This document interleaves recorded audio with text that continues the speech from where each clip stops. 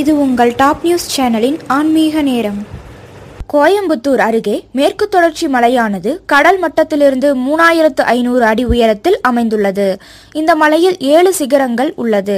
இங்கு உள்ள சிவபெருமானை தரிசிக்க நாம் ஏழு மலைகளை கடக்க வேண்டுமாம். இந்த மலையானது ஏழு முனிவர்களில் ஒருவரான அகத்திய முனிவர் தவம் செய்த இடமாகும். அதனால் இது அகத்திய முனி பரம்பரையில் வந்தவர்களுக்கு வழிபாட்டு தலமாக உள்ளது. இந்த மலையின் ஆண்டவர் கிட்டத்தட்ட நான்கு யுகங்களுக்கு முன்னரே தோன்றிய சுயம்பு அதாவது தானாக தானாகவே முளைத்தவர். இவர் ஏழு மலைகள் கொண்ட அமைப்பின் கடைசி மலையில் இயற்கையாக உருவான பாறைகளுக்கு இடையில் கம்பீரமாக அமர்ந்திருக்கிறார். இந்த மலையில் தரிசனம் பெறுவதற்கு ஒரு முறை மலையேறுவதென்று முடிவெடுத்துவிட்டால் ஏழு மலைகளையும் ஏறிச் சென்று இறைவனை வழிபட வேண்டுமாம். இல்லை என்றால் நாம் நினைத்த காரியம் நடக்காது என்று பக்தர்கள் சிலர் கூறுகின்றனர். தை முதல் தேதியில் இருந்து வைகாசி விசாகம் வரை உள்ள காலகட்டத்தில் அந்த மலைக்கு செல்வது மிகவும் சிறப்பு.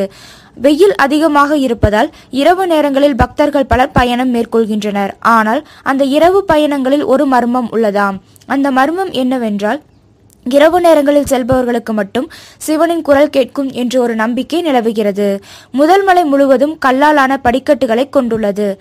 பிரணவ வடிவமாக காணப்படும் இந்த மலையில் குண்டலினிக்கு அதிபதியான விநாயகர் அமர்ந்து பக்தர்களுக்கு ஆசி வழங்குகிறார். இரண்டாவது மலையானது பாம்பாட்டி சித்தருக்கு முருகன் காட்சி தந்த மலையாக திகழ்கிறது.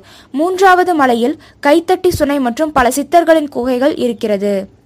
நான்காவது மலையில் ஒட்டச்சித்தர் சமாதியும் பல அற்புத அரிய வகை மூலிகைகளும் இருக்கின்றன.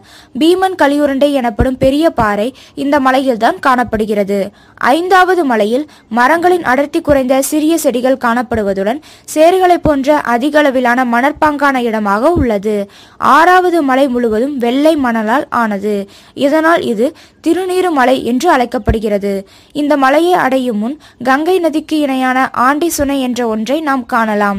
ஏழாவதாக உள்ள வெள்ளியங்கிரி மலையில் சித்தர்கள் அடிக்கடி உலாவுவதாக கூறப்படுகிறது. பெரும்பாலும் சித்தர்கள் பலரது கண்களுக்கு புலப்பட மாட்டார்கள் என்று நம்பப்படுகிறது.